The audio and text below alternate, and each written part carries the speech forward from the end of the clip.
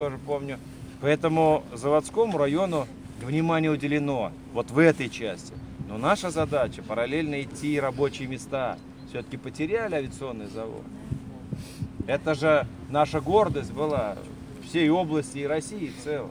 Мы его потеряли. Поэтому мы должны чем-то заместить. Заводской район, он заводской, рабочий.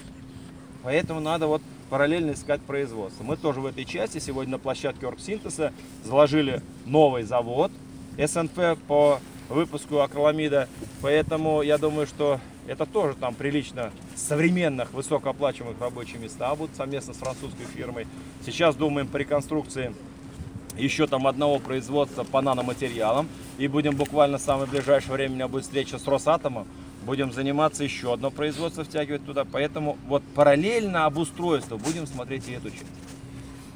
Чтобы у людей так понимание было. Не просто односторонне пойдем, а будем это все. Вот. А в целом по городу мы сейчас рассматриваем перспективу вообще до 10 проектов по следующему году, чтобы люди ощутили изменения. Застой закончился. Будем двигаться. Спасибо. Спасибо. Хорошо, спасибо.